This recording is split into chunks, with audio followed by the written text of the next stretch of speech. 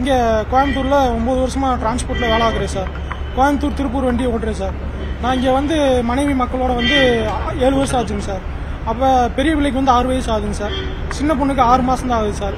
என்னோட மனைவி வந்து தலைவலிக்குதுன்னு சொன்னான் அப்போ ஆஸ்பத்திரியில் போகிறப்ப வந்து டெஸ்ட் பண்ணுறப்ப டெங்கு காய்ச்சன்னாங்க. அஞ்சு நாள் ஆஸ்பத்திரியில் இருந்தாங்க சார். ஆறாவது நாள் ரொம்ப மூச்சு திணல் ஆகுதுன்னு சொன்னோடனே ராமகிருஷ்ண ஆஸ்பத்திரிக்கு அனுப்பிச்சு விட்டாங்க. அங்கே போய் இரண்டு ரெண்டு மணி நேரத்தில் இறந்துருச்சுங்க சார் என் மனைவி. அதுக்கு வந்து நான் இப்போ வந்து என் என்னோட பிள்ளைகளை வந்து படிக்க வைக்க இங்கே நான் வேலைக்கு வந்துட்டா யாரும் பார்க்குறதுக்கு ஆ- ஆள் இல்லைங்க சார். எனக்கு சொந்த ஊர் தேனிங்க சார். அதனால் அந்த என்னோட ரெண்டு பிள்ளைகளும் அங்கே கொண்டு விட்டுட்டு விட்டுட்டேன் சார். அம்மா அப்பா வந்து அங்கே பார்த்துக்கிட்டு இருக்காங்க சார். நான் இங்கே வேலைக்கு வந்த நேரத்தில் வந்து அம்மா அப்பா என்னோட குழந்தை வந்து அம்மாவும் போயிட்டா நீயும் வந்து அங்கே போயிட்ட.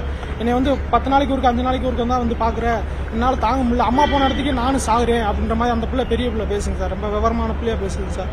அதனால் நான் வந்து போய் ஊருக்கு போயிட்டேன்னா ட்ரான்ஸ்ஃபர் வாங்கிட்டு ஊருக்கு போயிட்டேன்னா என் பிள்ளைகளையும் பார்த்துட்டு எங்கள் அம்மா அப்பா எங்கள் அம்மாவுக்கு அறுபத்தஞ்சு வயசு அப்பாவுக்கு எழுபது வயசு சார் அவங்களையும் பார்த்துக்கிட்டு நான் என் குடும்பத்தை ஓட்டிக்கிறேன் சார் அதனால போக்குவரத்து அமைச்சர் நீ கோயம்புத்தூர் வரேன்னு சொல்லியிருந்தாரு. அதனால அவர்கிட்ட ஒரு மனு கொடுத்தேன் சார் பார்த்து சரின்னு சொல்லியிருக்காரு சார் இதுக்கு முன்னாடி எதாவது மனு கொடுத்துருக்கீங்களா? இதுக்கு முன்னாடி எங்க ஜெனரல் மேனேஜர் தான் சார் போய் பார்த்து பிள்ளைகளோட போய் பார்த்தேன் சார் அப்பா அம்மா கூப்பிட்டு பாப்பா கூப்பிட்டு போய் பார்த்தேன் சார் பார்த்ததுக்கு நீங்க வந்து அங்க இருந்து நீங்க இங்க வந்து இருக்க வேண்டியதானே கோயம்புத்தூர் இல்லாததா உங்களுக்கு? ஏன் தேனிக்கு போறீங்க? தேனியில கிராமத்துக்கு எதுக்கு போறீங்க? இங்க எல்லா வசதியும் இருக்குல்ல? அம்மா அப்பா கூப்பிட்டு வந்து பிள்ளைகளை வச்சு நீங்க பாத்துக்கோங்க சார் அப்படின்னாங்க நாங்க வந்து அங்க இருக்கிறனால அம்மா அப்பா வந்து ஆடு மாடு வளர்க்குறாங்க சார்.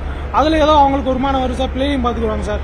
நான் வந்து இங்க அம்மா அப்பாவையும் பார்க்கணும் பிள்ளைகளையும் பார்க்கணும் சார். அதனால வந்து அம்மா அப்பா வந்து இங்க இருக்க முடியாது சார். அவங்க வந்து வயசானவங்கனால இருக்க முடியாது சார். அதனால அவங்க அங்க தேனி போலான்னு விருப்பத்தில் கேட்டுக்க சார். அப்ப ஆள் எடுக்கட்டும் பாத்துக்கலாம் அப்படின்ற மாதிரி சொல்லிட்டாங்க குழந்தையோட அமைச்சர் காலில் விழுந்தீங்க அமைச்சர் என்ன சொன்னார்? பாத்துக்கலாம்னு சொல்லியிருக்காரு சார். செஞ்சு கொடுக்குறேன்னு சொல்லியிருக்காரு சார். ஏத்திரிப்பா என்ன பிரச்சனை குழந்தை